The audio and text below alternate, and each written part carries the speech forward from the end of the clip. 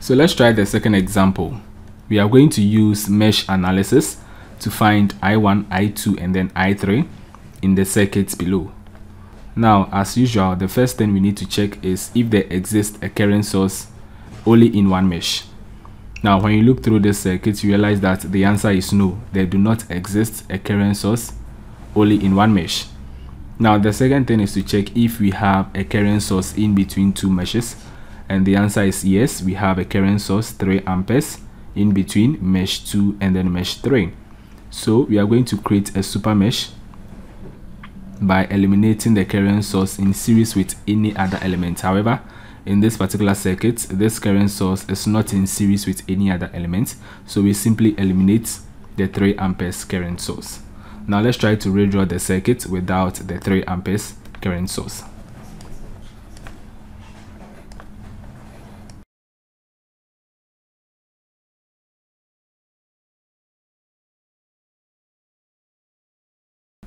So we still have the mesh current I1, I2, and then I3. Now we are going to apply KVL to mesh 1 and then to the super mesh. So first of all, let's start off with mesh 1. Now, according to KVL, we know that the source voltage is equal to the sum of the voltages dropped across the loop now we are going to consider this mesh. So we have the source voltage to be 12 that is equal to now going in the clockwise direction. So we have current i1 moving in this direction and then we have current i2 flowing opposite to i1 therefore we are going to have 2 that is the value of the resistor times i1 minus i2 now also in this resistor we have i1 flowing this way and then i3 also flowing that way which is opposing the flow of i1 therefore we are going to have plus 4 into bracket i1 minus i3 now let's expand and simplify this equation. So we are going to have 12 equals 2i1 minus 2i2 plus 4i1 minus 4i3 so we have 12 equals 2i1 plus 4i1 6i1 negative 2i2 and then negative 4i3 we divide through by 2 we have 6 equals 3i1 minus i2 minus 2i3 let's call this equation 1 now let's move on to the super mesh.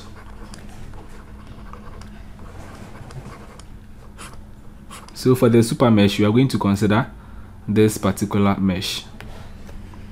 Now we have the source voltage to be 2v naught. Now notice that we are taking the clockwise direction. So the current produced by 2v naught is going to oppose the flow of the direction we are taking. Therefore this becomes negative 2 V naught and that is equal to we have current I2 flowing in this resistor.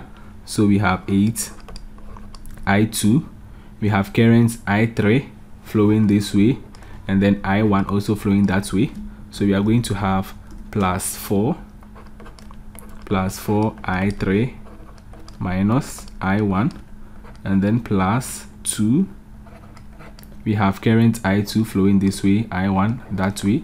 So that becomes plus 2 into bracket i2 minus i1 now we need to develop an expression for v naught so that we can eliminate v naught from this equation. Now you realize that we have v naught to be the voltage across the 2 ohms resistor. And then we know that the current flowing through this 2 ohms resistor is i1 minus i2 i1 minus i2 so that's going to be 2 times. So we have negative 2 and then v naught becomes so we have v naught to be 2 times i1 minus i2 that is v naught. And then we have 2i1 minus 2i2 so this is v naught. Now let's plug in v naught here so that becomes 2i1 minus 2i2 equals 8i2 plus 4i3 minus 4i1 plus 2i2 minus 2i1 let's simplify further. So we expand the left hand side. We have negative 4 i1 plus 4 i2 equals 8 i2 so we can add 8 and 2 so that we have 10 i2 and then we have negative 6 i1 and then plus 4 i3 let's transpose everything on the left hand side to the right hand side. So we have 0 equals negative 6 i1 and then we transpose negative 4 to the right hand side it becomes plus 4 so negative 6 plus 4 is negative 2 i1 and then for i2 we have 10 and then minus 4 that becomes plus 6 i2 and then we are left with plus 4 i3 here also we can divide through by 2 so that we have negative i1 plus 3 i2 plus 2 i3 let's call this equation 2 now back to the original circuit. We are going to apply KCL at this node.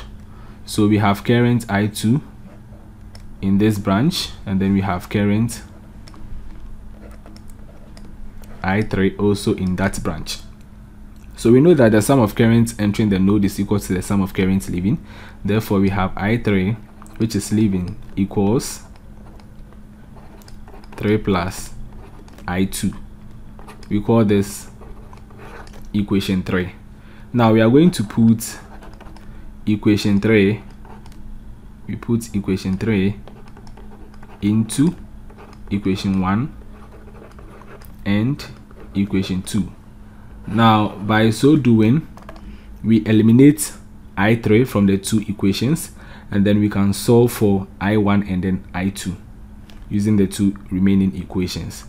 So for equation 1 for equation 1 we have 6 equals 3i1 minus i2 minus 2 into bracket 3 plus i2 so that becomes 6 equals 3i1 minus i2 minus 6 minus 2i2 we have 6 we transpose this here. So plus 6 that is 12 equals we have 3i1 and then negative 1 minus 2 is negative 3 i2 we divide through by 3 we have 4 equals i1 minus i2 we can transpose negative i2 to the left hand side so that we have 4 plus i2 equals i1 we call this equation 4 now for equation 2 for equation 2 we have 0 equals negative i1 plus 3i2 plus 2 times 3 plus i2 we are going to have 0 equals negative i1 plus 3i2 plus 6 plus 2i2 we transpose 6 to the left hand side it, becomes negative. It becomes negative 6 equals then we have negative i1 and then 3 plus 2 is 5 so plus 5 i2 and then we call this equation 5 now the next thing we are going to do is to put equation 4 into equation 5 you are going to put equation 4 into equation 5 so we are going to put equation 4 into equation 5 so for equation 5 we have negative 6 equals negative i1 plus 5i2 5i2 and then we had 4 plus i2 equals i1 to be equation 4 so that's going to be negative 6 equals negative into bracket 4 plus i2 plus 5i2 so this becomes negative 6 equals negative 4 minus i2 plus 5i2 so we transpose negative 4 to the left hand side. It becomes negative 6 plus 4 that is negative 2 equals this becomes 4i2 we divide through by 4 and then we have i2 to be equal to negative 0.5 amperes. This is the value for i2 now we are going to put i2 into equation 4 so that we have i1 equals 4 plus negative 0.5 and that will be equal to 3.5 amperes.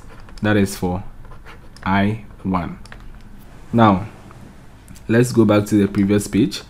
For equation 3 we have i3 equals 3 plus i2 so with that we can find the value of i3 so for equation 3 we have i3 to be equal to 3 plus i2 that is 3 plus negative 0.5 and that will be 2.5 amperes. So that's it for today's video. Thanks for watching and see you in my next video. Bye bye